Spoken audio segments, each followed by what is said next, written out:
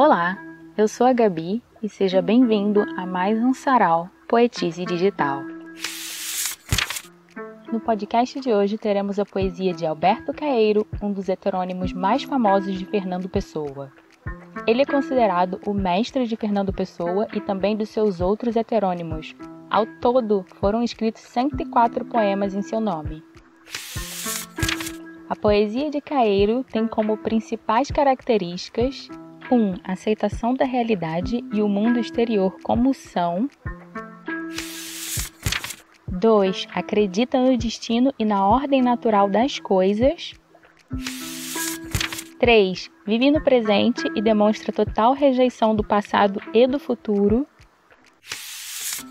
4. Rejeita qualquer tipo de filosofia e o vício de pensar, pois desta forma o homem alcançaria a felicidade. 5. Recusa da subjetividade, introspecção e misticismo. 6. Para ele as coisas não têm significação, e sim existência, e a sua existência é o seu próprio significado. Caeiro era considerado um panteísta naturalista, ou seja, acreditava que Deus estava na simplicidade e em todas as coisas. E quando eu digo poesia fora da Matrix, é justamente pela forma que ele aborda certos questionamentos filosóficos de uma maneira simples e ao mesmo tempo brilhante em seus versos, como veremos a seguir. Todas as opiniões. Todas as opiniões que há sobre a natureza nunca fizeram crescer uma erva ou nascer uma flor. Toda sabedoria a respeito das coisas nunca foi coisa em que se pudesse pegar como nas coisas. Se a ciência quer ser verdadeira, que ciência mais verdadeira que a das coisas sem ciência? Fecho os olhos e a terra dura sobre a que me deito tem uma realidade tão real que até as minhas costas assentem. Não preciso de raciocínio onde tem espáduas. Tu, místico, vês uma significação em todas as coisas. Para ti, tudo tem um sentido velado. Há uma coisa oculta em cada coisa que vês. O que vês, vê-lo sempre para veres outra coisa. Para mim, graças a ter olhos só para ver, eu vejo ausência de significação em todas as coisas. Vejo e amo-me, porque ser uma coisa é não significar nada. Ser uma coisa é não ser suscetível de interpretação. Dizes-me. Dizes-me, tu és mais alguma coisa que uma pedra ou uma planta? Dizes-me, sentes, pensas e sabes? Que pensas e sentes? Então as pedras escrevem versos? Então as plantas têm ideias sobre o mundo? Sim, há diferença, mas não é a diferença que encontras. Porque o ter consciência não me obriga a ter teorias sobre as coisas, só me obriga a ser consciente. Se sou mais que uma pedra ou uma planta, não sei. Sou diferente. Não sei o que é mais ou menos. Ter consciência é mais que ter cor? Pode ser e não ser. Sei que é diferente apenas. Ninguém pode provar que é mais que só diferente. Sei que a pedra é real e que a planta existe. Sei isto porque elas existem. Sei isto porque os meus sentidos me mostram. Sei que sou real. Sei isto porque os meus sentidos me mostram, embora com menos clareza que me mostram a pedra e a planta. Não sei mais nada. Sim, escrevo versos, e a pedra não escreve versos.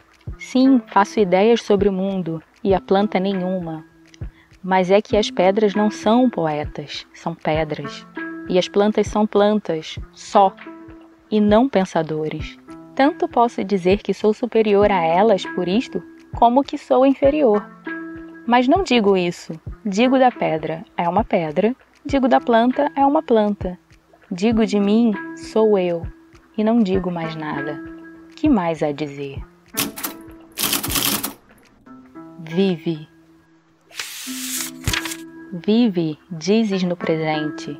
vive só no presente. Mas eu não quero o presente. Quero a realidade. Quero as coisas que existem, não o tempo que as mede. O que é o presente? É uma coisa relativa ao passado e ao futuro. É uma coisa que existe em virtude de outras coisas existirem. Eu quero só realidade, as coisas sem presente. Não quero incluir o tempo no meu esquema. Não quero pensar nas coisas como presentes. Quero pensar nelas como coisas. Não quero separá-las de si próprias, tratando-as por presentes. Eu nem por reais as devia tratar. Eu nem as devia tratar por nada. Eu devia vê-las, apenas vê-las. Vê-las até não poder pensar nelas. Vê-las sem tempo nem espaço. Ver podendo dispensar tudo, menos o que se vê. É esta a ciência de ver que não é nenhuma. Seja o que for, seja o que for que esteja no centro do mundo, deu-me um mundo exterior, por exemplo, de realidade. E quando digo isto é real, mesmo de um sentimento, vejo sem querer em um espaço qualquer exterior. Vejo com uma visão qualquer, fora e alheio a mim. Ser real quer dizer não estar dentro de mim. Da minha pessoa de dentro, não tenho noção de realidade. Sei que o mundo existe, mas não sei se existo. Estou mais certo da existência da minha Casa Branca do que da existência interior do dono da Casa Branca. Creio mais no meu corpo do que na minha alma, porque o meu corpo apresenta-se no meio da realidade podendo ser visto por outros, podendo tocar em outros, podendo sentar-se e estar de pé. Mas a minha alma só pode ser definida por termos de fora. Existe para mim, nos momentos em que julgo que efetivamente existe. Por um empréstimo da realidade exterior do mundo, se a alma é mais real que o mundo exterior, como tu, filósofos, dizes, para que, que é que o mundo exterior me foi dado como tipo de realidade? Se é mais certo eu sentir do que existir a coisa que sinto, para que sinto? E para que surge essa coisa independentemente de mim, sem precisar de mim para existir? E eu, sempre ligado a mim próprio, sempre pessoal e intransmissível? Para que me movo com os outros? em um mundo em que nos entendemos e onde coincidimos. E se por acaso esse mundo é o erro e eu é que estou certo? Se o mundo é um erro, é um erro de toda a gente, e cada um de nós é o erro de cada um de nós apenas. Coisa por coisa, o mundo é mais certo. Mas por que me interrogo se não porque estou doente? Nos dias certos, nos dias exteriores da minha vida, nos meus dias de perfeita lucidez natural, sinto sem sentir que sinto, vejo sem saber que vejo. E nunca o universo é tão real como então. Nunca o universo está, não é perto ou longe de mim, mas tão sublimemente não meu. Quando digo é evidente, quero acaso dizer só eu é que o vejo? Quando digo é verdade, quero acaso dizer é minha opinião?